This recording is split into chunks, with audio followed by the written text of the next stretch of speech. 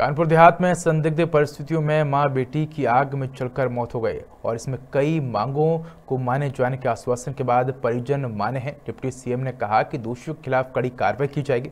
इसके बाद एसडीएम और लेखपाल सहित करीब तीन दर्जन लोगों के खिलाफ मामला दर्ज किया गया है। इसी के साथ एसडीएम व लेखपाल को निलंबित किया गया है।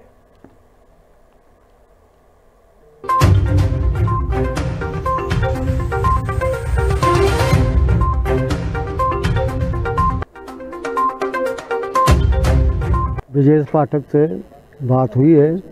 वो दोनों लोगों को नौकरी और एक करोड़ रुपया और ये ज़मीन का पट्टा और देखिए, आज जो है माननीय मुख्यमंत्री जी के निर्देशन पर डिप्टी सीएम साहब ब्रजेश पाठक जी ने जो पीड़ित परिवार था उनसे वीडियो कॉल के माध्यम से वार्ता की।